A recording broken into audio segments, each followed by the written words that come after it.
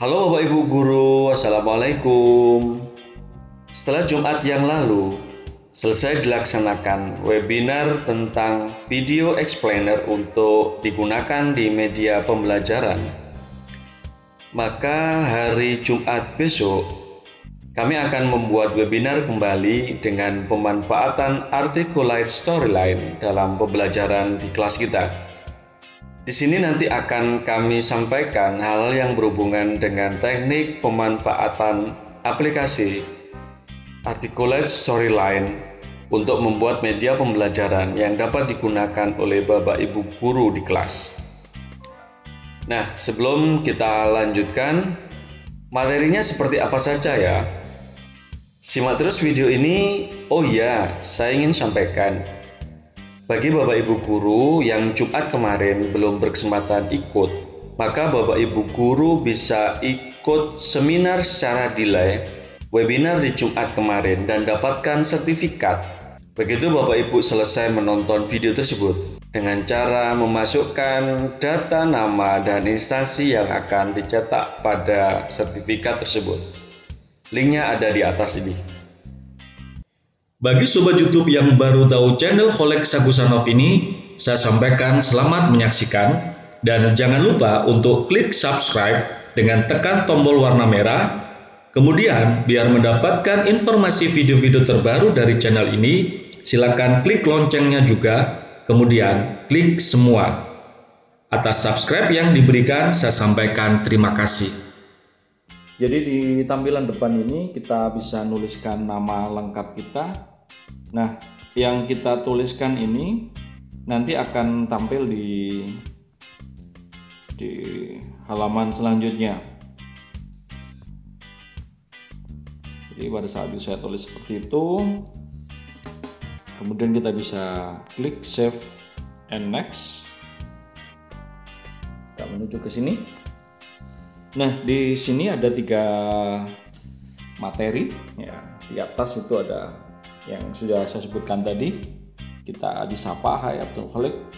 Jadi di menu utama ini kita menyediakan link-link yang menuju ke materi kita. Saya contohkan tiga materi dan setiap materi nanti akan ada soal untuk melakukan tes terhadap pencapaian belajar kita. Nah di kompetensi 1, kompetensi 2, kompetensi 3 materinya saya bikin hampir mirip cuman yang bikin adalah uh, uh, untuk tesnya. Tesnya saya bikin berbeda uh, variasinya sehingga kita punya banyak pilihan. Baik langsung saja. Untuk di kompetensi 1 ini materi. Next saja. Oke. Nah kemudian kalau misalnya materi kita sudah cukup di bawah kita kasih soal seperti ini. Nah ini e, jawabannya diacak. Jadi e, soal ini urut soalnya masih tetap nomor satu tetap nomor dua tetap tapi diacak.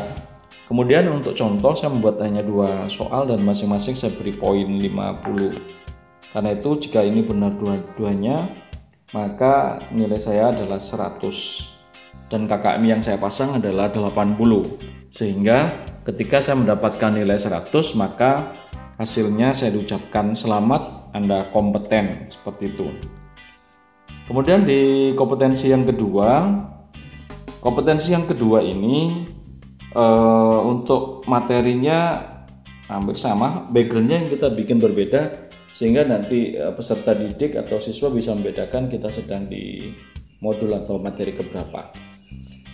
Nah, untuk penggunaan uh, soalnya ini menggunakan uh, soal mencocokkan ya. Menggunakan soal mencocokkan misalnya kucing, meong, anjing menyala, ayam berkokok, burung berkicau seperti ini. Oke, kita oke. Okay. The right, the correct response. Oke. Okay. Bunga matahari kuning. Hitam ini gagak hijau ini daun, putih adalah awan.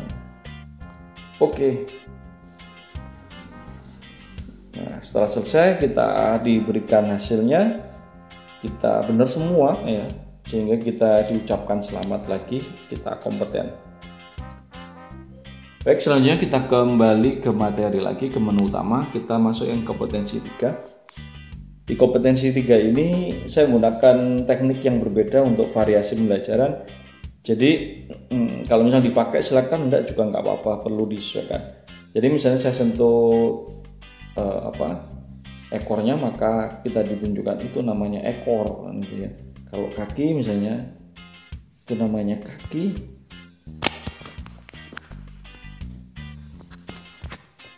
Oke, begitu juga dengan mata, seperti itu mulut ini adalah variasi model yang bisa kita lakukan di aplikasi Articulate Storyline soalnya gimana ya? Soalnya yang ini saya mencoba untuk membuat pengurutan data. Jadi yang dari paling langkah ya ke yang paling nggak langkah.